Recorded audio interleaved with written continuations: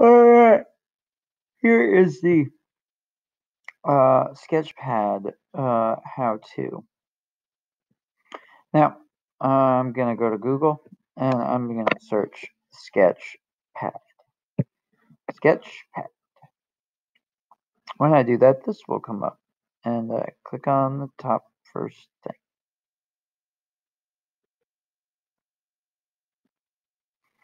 There might be some sort of tutorial you gotta walk through, but eh. okay. So a couple things. Right now we're on the arrow tool. That's to select things. There's a couple other tools. The only one, other one we're going to be using, I think, for today is the calligraphy. It looks like a feather. I'm going to switch that to pencil. Now, if you've already used this program before, or you want to make more drawings in this program, when you go to New, make sure you always select Transparent. It's a checkerboard pattern. Transparent is good. Um, if you do have older pictures, they get saved automatically here, like with Chrome Canvas. Also, when you're going to save stuff, you want to always make sure you save it as a PNG. I'll explain more on that later.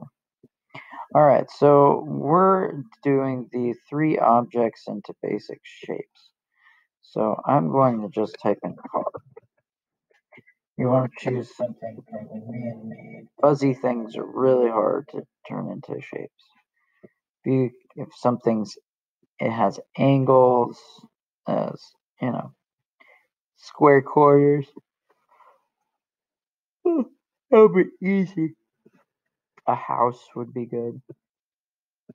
Uh, I'm not going to click on that. Okay, so I'm going to two finger tap so it opens up one of these things and I want to copy the image. It's on my clipboard now. So when I go back to Sketchpad, I'm going to just make sure um, I'm touching, I've got the arrow thing going. I'm going to hit Control V. And that is to paste. So I'm going to write that down up here. CTRL plus V. And I've got my, my uh, car here.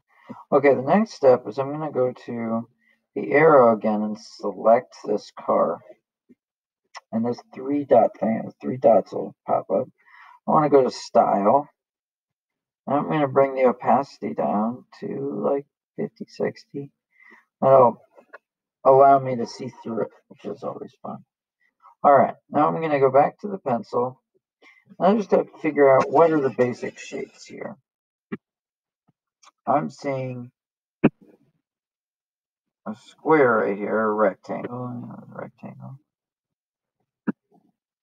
right? So that's something. I also have uh, a, an ellipse here. And you think about these tires are actually cylinders. All right, I got a cylinder here.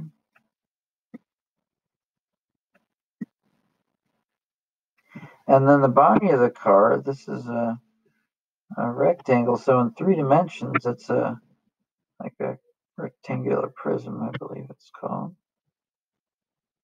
Look at that right there. We Got ourselves a car made out of kind of looks like a looks like a mattress mattress car. Uh, and then the top part, um, you could say, is like a rectangular kind of boxy thing that has the sides cut down. Right? And then there's just this triangle right here. There'll be a triangle right there too.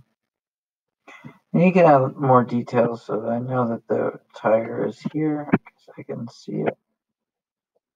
I'll put the tire in there, and then there's lights. You could do the grill lines if you want. The really important part is that you see and draw the basic shapes. Basic shapes that you see. Mm, I mean, that's kind of a squarish shape. We got a square shape right there. All right, once I've done that, I'm gonna go over to the layers. It looks like lasagna or grilled cheese. Click on that, and if you go all the way down, this is a history of all of the pencil marks. It's gonna say image. You're gonna unsee it. So we're left with something like that. Uh, now, once I have that, oh, if you mess up, the eraser tool on this is very bad. Um, so if you do something wrong and you don't like a line, say, say did this and I don't like it. You can go to the arrow, so the select tool, and just select that one thing and delete it, which is pretty nice. Um, also, another shortcut um, is, um, I'll say this is paste, uh, to undo is control plus Z. That was a really good one. Okay, so you're done your turning your shape into basic shapes, or your object into basic shapes. You're going to go to export and save as a PNG file. So that's one, two, three, fourth down, download PNG. It'll download. That's it. Do that three times, and then um, you'll be done with this uh, section of the assignment.